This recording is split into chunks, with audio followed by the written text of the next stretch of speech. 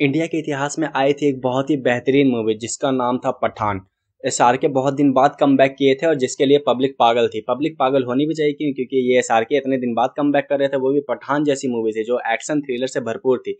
तो ये movie work की, जो कि आपने देखा और उसके बाद जो बॉयकॉट वाले थे, उनका क्या हाल हुआ, आपको भी पता ही है, और मूवी कितनी ज़्यादा कलेक्शन की, वो आपको पता ही है।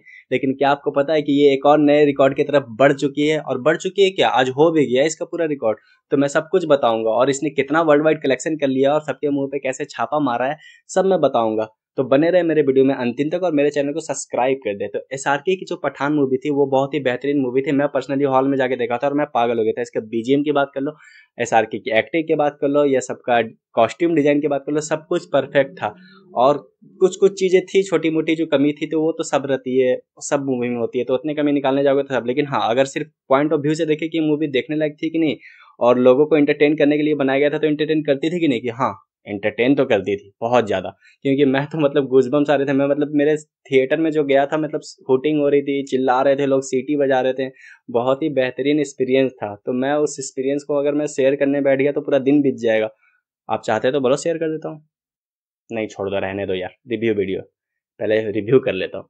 तो बस यही बोलना चाहता हूँ मैं कि एस आर के बहुत बड़े रिकॉर्ड बना चुके हैं, जो इंडिया में कितने बड़े रिकॉर्ड बनाए फ़र्स्ट डे सेकंड डे कितने रिकॉर्ड बनाए सब कुछ आप देखते आ रहे होगे।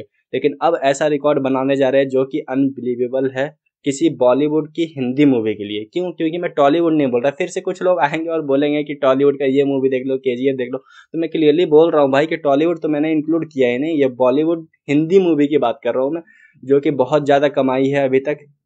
फिर दंगल आप बोल दोगे तो दंगल नहीं यार। देख लेना आप अच्छे से।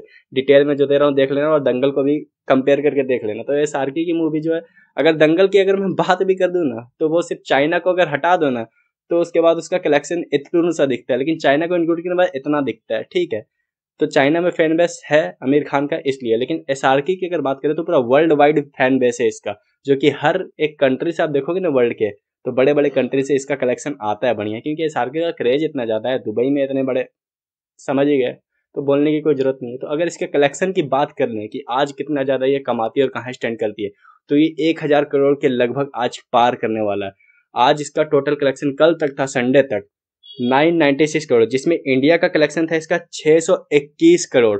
और अगर ओवर एज कलेक्शन की बात करें, बाहर का तो 375 करोड़ था। तो वर्ल्ड वाइड कलेक्शन टोटल होता है, अगर इसको ऐड करें हम लोग तो नौ सौ छियानबे करोड़ होता है। 996 करोड़ ये कमा चुकी है और आज मंडे है और चार करोड़ तो आराम से कमाएगा। यार, जब नन हॉलीडे में कमा रहा था तो आज मंडे को चार करोड़ नहीं, मान लो आज नहीं भी कमाया, दो करोड़ भी कमाता है तो ट्यूजडे तक कमा जाएगा। तो मतलब ये तो फिक्स है, हंड्रेड एंड टेन परसेंट की एक हज़ार करोड़ पार कर जाएगी ये, आज नहीं तो कल।